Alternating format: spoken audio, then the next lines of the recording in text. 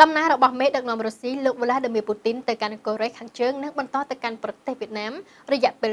48ម៉ោងមកនេះបានក្លាយជាចំណុចចាប់អារម្មណ៍ដ៏ធំនៅក្នុងតំបន់និងសកលលោកហើយដើម្បីបានជាដំណើរទស្សនកិច្ចទៅកាន់ប្រទេសទាំងពីរនៅក្នុងអាស៊ីបូព៌ានិងអាស៊ីអាគ្នេយ៍មានការចាប់អារម្មណ៍ពីពិភពលោកលោកម៉ៃរ៉េតនៅមានសេចក្តីរាយការណ៍តើ ដំណើរទស្សនកិច្ចមេដឹកនាំរុស្ស៊ីក្នុងអាស៊ីបូព៌ានិងអាស៊ីអាគ្នេយ៍មានលទ្ធផលអ្វីខ្លះប្រធានាធិបតីរុស្ស៊ីលោក Vladimir Putin បានធ្វើដំណើរទៅកាន់ប្រទេសវៀតណាមនៅយប់ថ្ងៃពុធបន្ទាប់ពីដំណើរទស្សនកិច្ចក្នុងប្រទេសកូរ៉េខាងជើងរយៈពេល1ថ្ងៃវៀតណាមគឺជាប្រទេសនៃសម្ព័ន្ធមិត្តចាររបស់រុស្ស៊ី និងកំពុងតែបង្ហាញតួនាទីលេចធ្លោរបស់ខ្លួនក្នុងភូមិសាស្ត្រនយោបាយ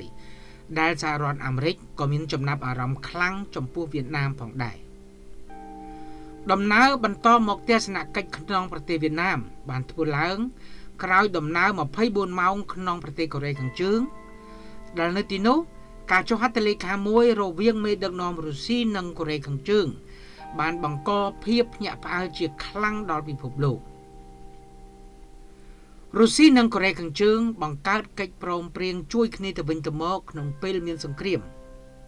គណៈដែលប្រទេសអង្គការ NATO បានចងភ្ជាប់វាសនាអនាគតជាមួយគ្នាក្នុងមាត្រា5នៃធម្មនុញ្ញរបស់ខ្លួនរុស្ស៊ីនិងកូរ៉េខាងជើង បានបង្កើតនូវកិច្ចព្រមព្រៀងមួយស្រដៀងគ្នា ដែលបង្ហាញកិច្ចសហការជួយគ្នាទៅវិញទៅមកផងដែរមេដឹកនាំរុស្ស៊ីលោក Vladimir Putin និងមេដឹកនាំកូរ៉េខាងជើងលោកគីមចុងអ៊ុនកាលពីថ្ងៃពុធទី19មិថុនាបានចុះហត្ថលេខាលើកិច្ចព្រមព្រៀងមួយ ដែលសន្យាថានឹងផ្ដល់ជំនួយឲ្យគ្នាទៅវិញទៅមកប្រសិនណាបើប្រទេសទាំងពីរប្រឈមមុខនឹងការឈ្លានពានកិច្ចព្រមព្រៀងដែលបានចុះហត្ថលេខាដោយមេដឹកនាំប្រទេសទាំងពីរនេះគឺជាកិច្ចព្រមព្រៀងដៃគូយុទ្ធសាស្ត្រគ្រប់ជ្រុងជ្រោយ ក្នុងរង្វង់ពេលដែលប្រទេសទាំងពីរកំពុងតែប្រឈមនឹងការដាក់សម្ពាធទណ្ឌកម្មធ្ងន់ធ្ងរពីប្រទេសលោកខាងលិចនិងសហរដ្ឋអាមេរិកលោកគឹមចុងអ៊ុនបានថ្លែងក្នុងពេលចុះហត្ថលេខាថាខ្ញុំគ្មានការសង្ស័យអ្វីឡើយដែលថាកិច្ចព្រមព្រៀងនោះនឹងក្លាយជាកម្លាំងជំរុញកាន់តែលឿនក្នុងការបង្កើតពហុពលថ្មីរបស់ពិភពលោកលោកគឹមចុងអ៊ុនបានថ្លែងចាត់ទុកកិច្ចព្រមព្រៀងនោះ មានភាពពាក់ព័ន្ធនឹងការអភិវឌ្ឍកិច្ចសហប្រតិបត្តិការរវាងប្រទេសទាំងពីររួមទាំងក្នុងកិច្ចការយោធាផងទៀតលោកគីមចុងអ៊ុនបានថ្លែងចាត់ទុករដ្ឋាភិបាលក្រុងមូស្គូថាជាមិត្តនិងសម្ព័ន្ធមិត្តដ៏ស្មោះត្រង់បំផុត ហើយលោកថាប្រធានាធិបតីលោកពូទីននោះ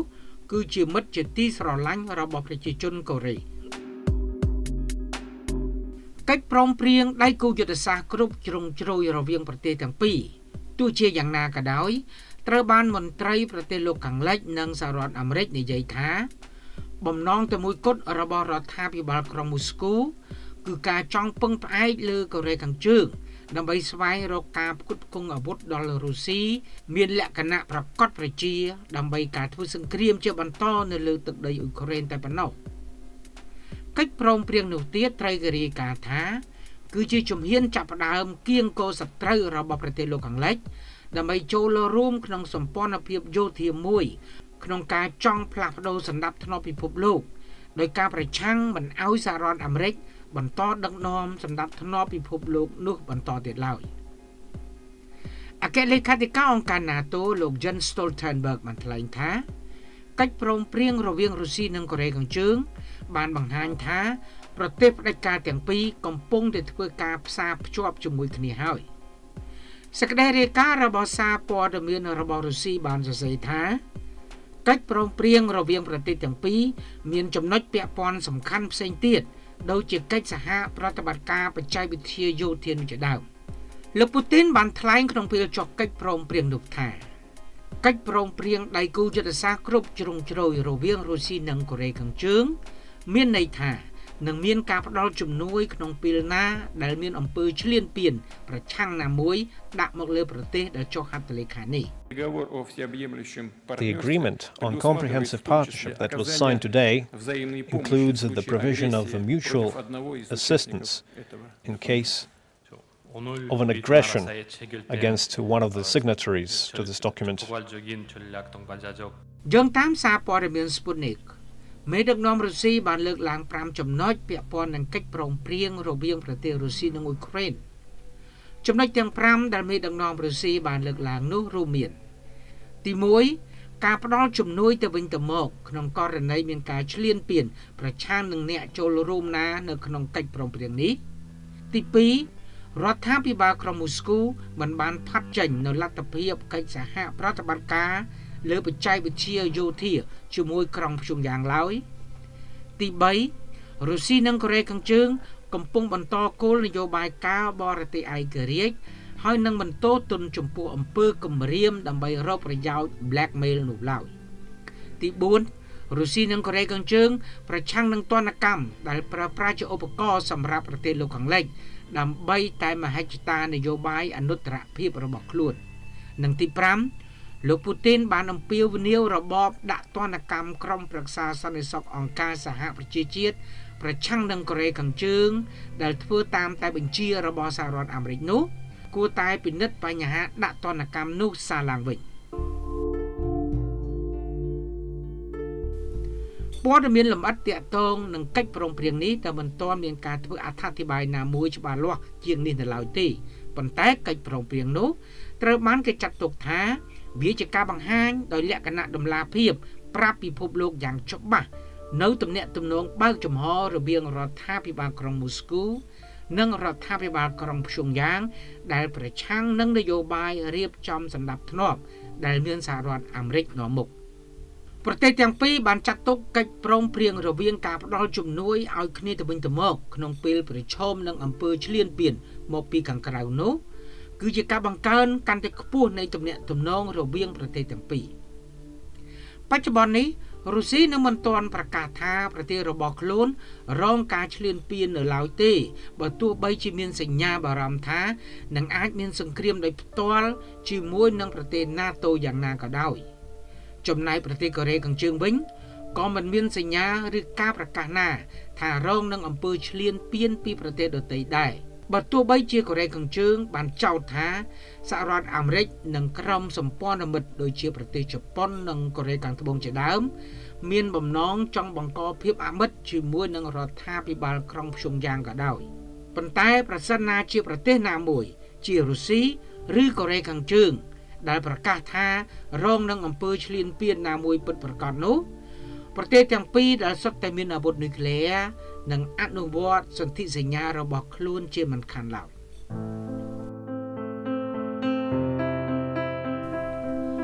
លោកពូទីនបន្តទស្សនកិច្ចមកប្រទេសវៀតណាមយន្តហោះរបស់លោកពូទីនបានធ្វើដំណើរទៅដល់អាកាសយានដ្ឋានអន្តរជាតិក្រុងហាណូយដោយមានការទទួលស្វាគមន៍ដោយឧបនាយករដ្ឋមន្ត្រីវៀតណាមលោកត្រាន់ហុងហា នៅចំថ្ងៃដែលមានដំណើរទស្សនកិច្ចរបស់មេដឹកនាំរុស្ស៊ីនោះអត្ថបទវិចារណកថាក្នុងកាសែតបកកុម្មុយនីសវៀតណាម បានចុះផ្សាយអំពីដំណើរទស្សនកិច្ចរបស់លោកពូទីនដោយលើកឡើងនៅសម្ដីកោតសរសើររបស់លោកពូទីនដែលចាត់ទុកវៀតណាមគ្រប់គ្រងរុស្ស៊ីលើវិធីប្រកបនិយមមួយ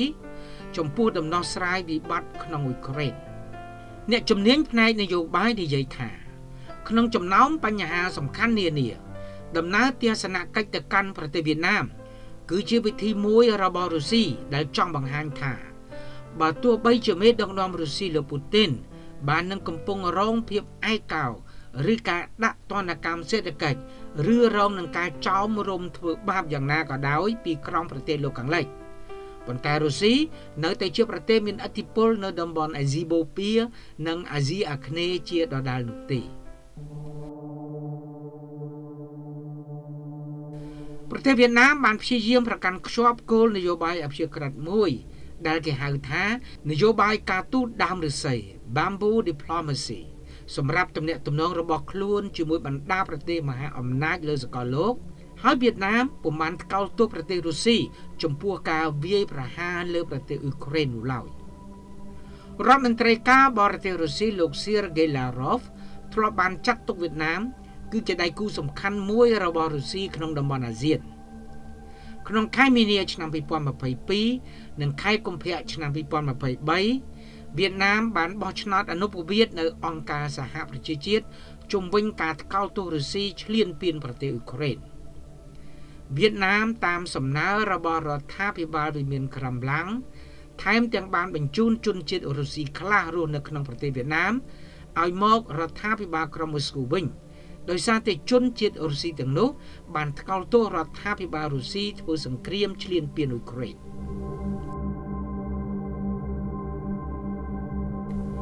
ដំណើរទស្សនកិច្ចរបស់លោកពូទីននៅវៀតណាម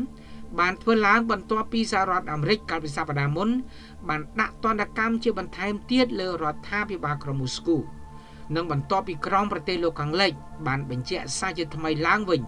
នៅការគ្រប់គ្រងអន្តងារេរបស់ពួកគេចំពោះអ៊ុយក្រែនប្រឆាំងនឹងរុស្ស៊ីដោយក្រុមប្រទេសលោកខាងលិចបានឯកច្ឆ័ន្ទឲ្យអ៊ុយក្រែនយកលុយបង្កកពីទ្រព្យសម្បត្តិរុស្ស៊ីតម្លៃ50ពាន់លានដុល្លារដើម្បីធ្វើសង្គ្រាមប្រឆាំងនឹងរុស្ស៊ីវិញការគ្រប់គ្រងឲ្យយកប្រាក់បង្កកនេះបានធ្វើនៅក្នុងកិច្ចប្រជុំកំពូលក្រុមប្រទេស G7 នៅក្នុងប្រទេសអ៊ីតាលីនាខែមិថុនានេះ ដំណើរទស្សនកិច្ចនេះទៀតបានធ្វើឡើងច្រើនថ្ងៃបន្ទាប់ពីកិច្ចប្រជុំកំពូលស្តីពីសន្តិភាពនៅអ៊ុយក្រែនទើបបានបិទបញ្ចប់នៅក្នុងប្រទេសស្វីសហេតុអ្វីបានជាលោកពូទីនជ្រើសរើសវៀតណាមជាគោលដៅទស្សនកិច្ចប្រទេសវៀតណាមដែលលោកពូទីនបានធ្វើទស្សនកិច្ចគឺជាប្រទេសមួយដែលបណ្ដាប្រទេសធំធំក្នុងតំបន់និងសកលលោកតែងបោះដៃស្វែងរកទំនាក់ទំនងជាមួយនឹងរដ្ឋាភិបាលក្រុងហាណូយផ្ទុយស្រឡះពីប្រទេសកូរ៉េខាងជើងដែលលោកពូទីនទើបបញ្ចប់ទស្សនកិច្ចដោយសារតែកម្មវិធីអាវុធនុយក្លេអ៊ែររបស់រដ្ឋាភិបាលក្រុងភ្យុំយ៉ាង បានរងនឹងការដាក់ទណ្ឌកម្មយ៉ាងធ្ងន់ធ្ងរពីអង្គការសហប្រជាជាតិវៀតណាមជាប្រទេសដែលសេដ្ឋកិច្ចកំពុងតែមានសន្ទុះកើនឡើងនិងជាប្រទេសឈានមុខមួយនៃការនាំចេញសម្លៀកបំពាក់ប៉ុន្តែសន្ទុះរីកចម្រើននៃវិស័យសេដ្ឋកិច្ចនេះក៏ដោយសារតែការពឹងផ្អែកលើប្រទេសលោកខាងលិច ដែលជាដៃគូនិងជាទីផ្សារដ៏សំខាន់មួយរបស់វៀតណាមផងដែរចំណែកប្រទេសដែលជាដៃគូលើវិស័យការពារជាតិរបស់វៀតណាម គឺប្រទេសឥណ្ឌាវៀតណាមក៏ជាប្រទេសនៃសសរស្តម្ភមួយនៃកិច្ចខិតខំប្រឹងប្រែងរបស់អាស៊ីអាគ្នេយ៍ដែលបង្ហាញតុល្យភាពមិនលំអៀងលើទំនាក់ទំនងសេដ្ឋកិច្ចជាមួយនឹងប្រទេសចិន បើទោះបីជាមានទំនាស់ជាមួយនឹងរដ្ឋាភិបាលក្រុងប៉េកាំងលើបញ្ហាដែនទឹកចំនួនរវាងគ្នាទៅវិញទៅមកយ៉ាងណាក៏ដោយដោយសារតែមានប្រវត្តិពាក់ព័ន្ធមិនធម្មតានោះហើយវៀតណាមបានក្លាយជាជំរឿននៃដំណើរទស្សនកិច្ចមួយរបស់លោក Vladimir Putin តើទំនាក់ទំនងវៀតណាមរុស្ស៊ីមានភាពរឹងមាំប៉ុណ្ណា ទំនាក់ទំនងរវាងប្រទេសទាំងពីរមានតាំងពីអតីតសម័យសហភាពសូវៀតដែលរុស្ស៊ីគឺជាអ្នកផ្គត់ផ្គង់គ្រឿងសព្វាវុធដ៏ធំបំផុតរបស់ទីក្រុងហាណូយក្នុងសម័យសង្គ្រាមឥណ្ឌូចិនលើកទី1ប្រឆាំងនឹងបារាំងនិងសង្គ្រាមឥណ្ឌូចិនលើកទី2ប្រឆាំងនឹងសហរដ្ឋអាមេរិកការគ្រប់គ្រងផ្នែកយោធារបស់អតីតសហភាពសូវៀតមានសារៈសំខាន់ជាខ្លាំងណាស់ចំពោះបកកុម្មុយនីសវៀតណាម ប៉ុន្តែទំនាក់ទំនងរវាងប្រទេសទាំងពីរនាពេលនេះមានហួសពីវិសាលភាពយោធាទៅទៀតតើមានអ្វីខ្លះនៅក្នុងរបៀបវិរៈនៃដំណើរទស្សនកិច្ចក្នុងប្រទេសវៀតណាមនោះវៀតណាមគឺជាប្រទេសដែលតែងបង្ហាញការស្វាគមន៍ដំណើរទស្សនកិច្ចរបស់លោកពូទីនជារឿយៗដំណើររបស់លោកពូទីនមកកាន់ប្រទេសវៀតណាមជាលើកដំបូងគឺមានចាប់តាំងពីឆ្នាំ2017នោះមក លោកពូទីនបានជួបជាមួយនឹងអគ្គលេខាធិការបកកុម្មុយនីសវៀតណាម លោកវៀងភូតុងជួបជាមួយប្រធានរដ្ឋវៀតណាម លោកតូឡាំនិងជួបជាមួយនាយករដ្ឋមន្ត្រីវៀតណាមលោកផាមិញជីងដំណើរទស្សនកិច្ចរបស់លោកពូទីនត្រូវគេរាយការណ៍ថា បានផ្ដោតលើបញ្ហាធម្មពលសិក្សាធិការនិងវិស័យសេដ្ឋកិច្ចពាណិជ្ជកម្មរវាងប្រទេសទាំងពីរមានទំហំ3កណ្ដោសញ្ញា5000លានដុល្លារក្នុងឆ្នាំ2022 ដែលទំហំនេះត្រូវគេមើលឃើញថាជាទំហំដ៏តូចមួយតែប៉ុណ្ណោះបើប្រៀបធៀបនឹងទំហំពាណិជ្ជកម្មរវាងវៀតណាមនិងចិនបច្ចុប្បន្នមានទំហំ175,000លានដុល្លារគណៈទំហំពាណិជ្ជកម្មរវាងវៀតណាមនិងសហរដ្ឋអាមេរិកមានទំហំ123,000លានដុល្លារដំណើរទស្សនកិច្ចនេះត្រូវបានគេបង្ហាញនៅចំណងទំនាក់ទំនងរវាងវិស័យសេដ្ឋកិច្ចតែប៉ុណ្ណោះ ប៉ុន្តែក៏មានការរំពឹងលើការជជែកគ្នាជាឯកជនលើបញ្ហាអ៊ុយក្រែននិងវិស័យកិច្ចសហប្រតិបត្តិការការពារជាតិផងនោះដែរលោកស្រីហួងលេទូអនុប្រធានកម្មវិធីក្រុមវិបត្តិអន្តរជាតិសម្រាប់ទ្វីបអាស៊ីបានថ្លែងថាគោលនយោបាយការបរទេសវៀតណាម គឺផ្អែកលើកេរដំណែលប្រវត្តិសាស្ត្រនិងផលប្រយោជន៍របស់ខ្លួន ដែលមានន័យថាវៀតណាម ចង់បង្ហាញថា គេអាចតាក់ទងជាមួយចិនក៏បាន អាមេរិកក៏បានរុស្ស៊ីក៏បាន ក្នុងការយកធ្វើជាមិត្តទាំងអស់វាជានយោបាយការទូតចម្រុះពណ៌